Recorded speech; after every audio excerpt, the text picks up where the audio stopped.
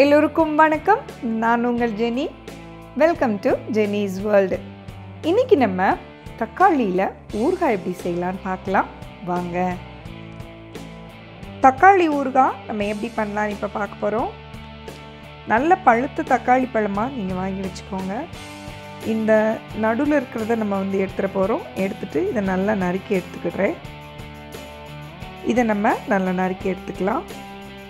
நம்ம தக்காளி பழத்தை வெட்டி எடுக்கிற சமயத்துலேயே இந்த புளியை ஊற போட்டுடலாம்.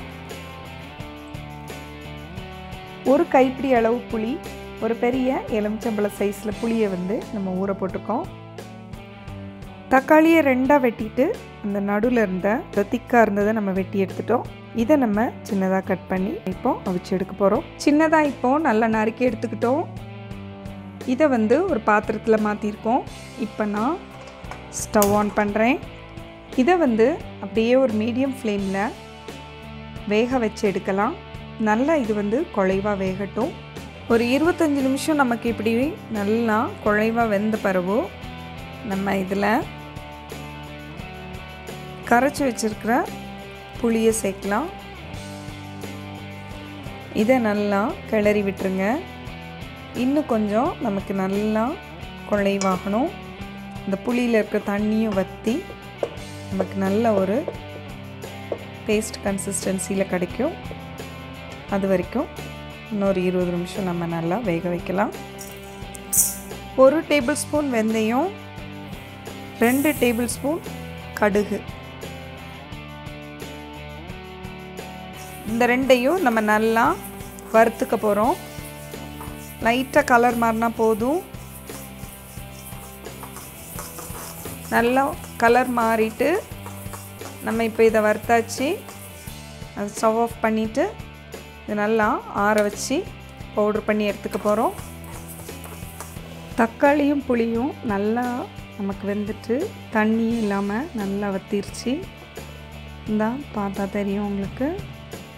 தண்ணி இல்லை. இப்போ நம்ம ஸ்டவ் ஆஃப் பண்ணிடலாம். இந்த மாதிரி நம்ம வந்து வெந்தயத்தையும் கடுகையும் அரைச்சி எடுத்துக்கிட்டோம். இப்போ நம்ம தாளித்து எடுத்துக்கலாம். நான் ஸ்டவ் ஆன் பண்ணிக்கிறேன். உங்க டூ ஹண்ட்ரட் எம்எல் நல்லெண்ணெய் சேர்த்துக்கோங்க. நல்லெண்ணெயில் ஊறுகாய் பண்ணால் ரொம்ப டேஸ்ட்டாக இருக்கும். ப்ளஸ் நம்ம கூட கொஞ்ச நாள் வச்சுருக்கிறதுக்கும் ஹெல்ப்ஃபுல்லாக இருக்கும். எண்ணெய் நல்லா சூடாயிட்டு நம்ம ஒரு டீஸ்பூன் கடுகு போட்டுக்கலாம். இந்த அஞ்சாறு வெந்தயம் போட்டுக்கோங்க. ஒரு பத்து பல் பூண்டை வந்து நான் நல்லா கீறி வச்சுருக்கேன். அதை சேர்த்துக்கிறேன். எண்ணெயிலேயே இது நமக்கு நல்லா வேகட்டும். அரை டீஸ்பூன் காயப்பொடி சேர்த்துக்கோங்க. மூணு டேபிள் ஸ்பூன் வத்தல் பொடி சேர்த்துக்கோங்க. உங்களுக்கு வேணும்னா இன்னும் கொஞ்சம் நீ கூட நீங்கள் சேர்த்துக்கலாம். இந்த காரத்துக்கு தக்க நீங்கள் சேர்த்துக்கலாம். இப்போ நம்ம ஸ்டவ் ஆஃப் பண்ணிடலாம். இதிலையே கால் டீஸ்பூன் மஞ்சள் பொடி பவுட்ரு பண்ணி வச்சுருக்கிறேன் கடுகையும் வெந்தயத்தையும் இதில் சேர்த்துட்றோம் இதையும் நல்லா நம்ம கிண்டி விட்டுடலாம் நான் ஸ்டவ் ஆஃப் பண்ணிட்டேன். ஏன்னா உங்களுக்கு மசாலா வந்து கரிஞ்சிடக்கூடாது. அதனால் அணைச்சிட்டேன். இப்போ நம்ம இந்த தக்காளியை சேர்த்துக்கலாம். இதில் நம்ம தக்காளியை சேர்க்குறோம். ஸ்டவ் ஆன் பண்ணிக்கலாம் அப்போது ஒரு கை போல் உப்பு சேர்த்துக்கோங்க. நல்லா இதையும் கிளறி விட்டுருங்க.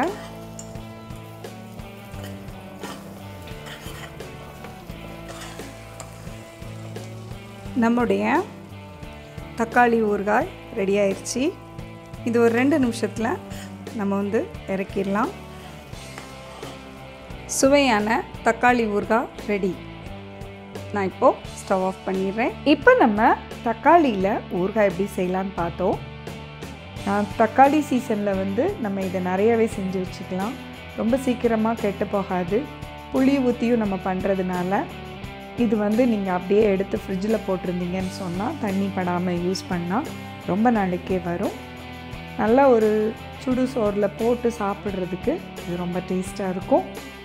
அதே நேரத்தில் நம்ம தயிர் சாதம் இல்லாட்டினா நம்ம அடிஷ்னலாக சப்பாத்திக்கு அதுக்கு எல்லாத்துக்கும் வச்சு சாப்பிட இது ரொம்ப டேஸ்ட்டாக இருக்கும்.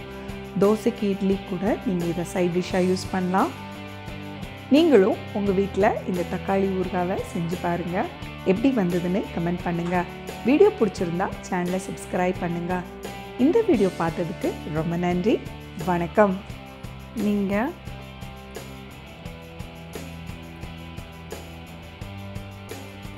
ஒரு ஸ்பூன் இந்த தக்காளி ஊறுகாய் போட்டு சாப்பிட்டு பாருங்கள் அவ்வளோ டேஸ்ட்டாக இருக்கும்.